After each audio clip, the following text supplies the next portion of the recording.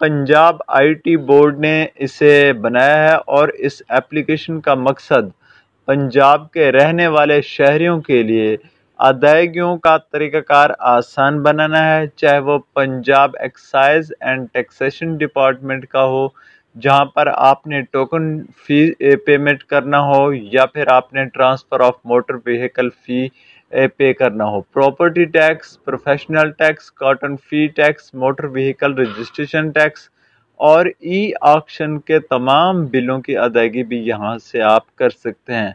साथ आ जाते हैं जी बोर्ड ऑफ़ रेवेन्यू के सेक्शन में यहाँ पर प्लस को आपने प्रेस करना है और यहाँ पे है जी मोशन फ़ी है और इसके अलावा फ़र्द फ़ी और ई स्टैम्प फ़ी ये भी इसी एप्लीकेशन के थ्रू आप पे कर सकते हैं। नीचे है जी, Punjab revenue authority Punjab revenue authority में पंजाब आईडी कास है जी, इसके अलावा सेल टैक्स एंड सर्विसेज़ है।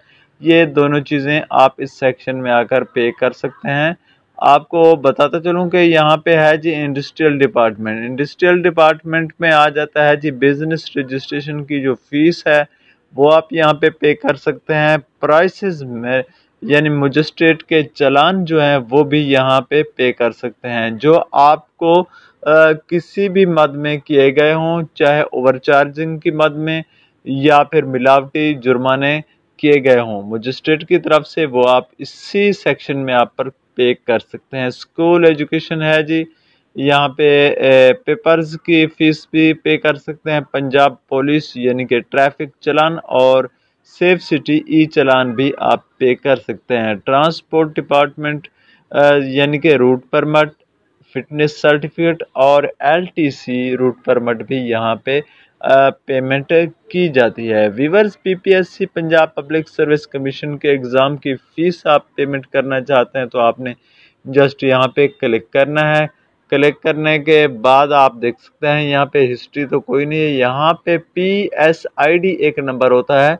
जब आप, यानी कि चलान निकालते हैं तो वो आपने यहाँ पे सबमिट करना है इजी पैसे जायज़ कुश या फिर किसी भी बैंक को मंतखब करने के बाद आप यहाँ से पेमेंट कर सकते हैं।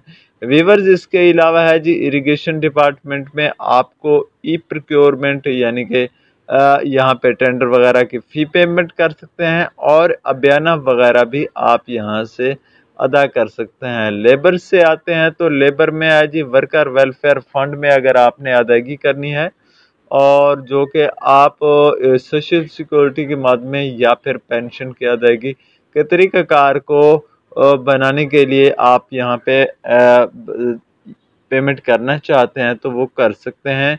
या फिर आप वर्कर वेलफेयर फंड होता है, जो कि इंडस्ट्रियों के मुलाजमीन के लिए होता है, वो भी आप यहाँ से पे कर सकते हैं। एफ़ एस पी ए यहाँ पे है जी एफ़ एस पी ए में फ्लड डोनेशन 2022 हाल ही में जो फ्लड है, जहाँ पे पंजाब और बिलखसूस पाकिस्तान के काफ़ी सारे इलाकों में तबाही मचाई है, उसके लिए गवर्नमेंट ऑफ़ पंजाब के यानी कि आप अकाउंट में कोई डोनेशन करना चाहते हैं फ्लड फंड में आप हिस्सा मिलाना चाहते हैं तो यहाँ से ऑनलाइन मिला सकते हैं।